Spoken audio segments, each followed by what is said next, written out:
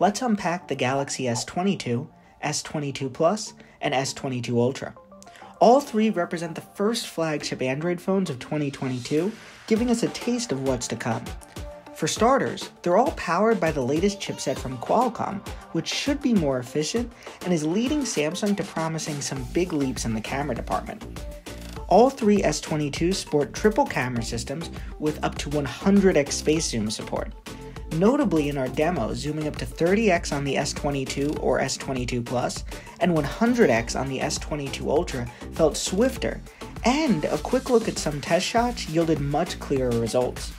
Samsung even has a new video mode to take on Apple's cinematic mode. Essentially, a mode that lets you switch who or what is the focal point of a video. The S22 and S22 Plus both sport a more premium design that ditches plastic for a full aluminum and glass build. That's something we're very happy it's being tossed to the side. They feel great in our hands, and we especially like that the 6.1 inch and 6.6 inch screens are flat.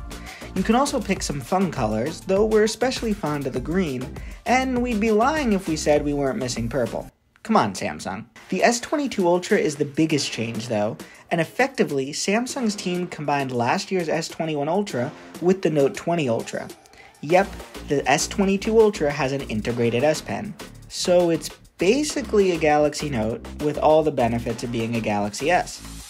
The pen felt good to write with during our hands on, and we're eager to see how this translates to everyday performance and functionality.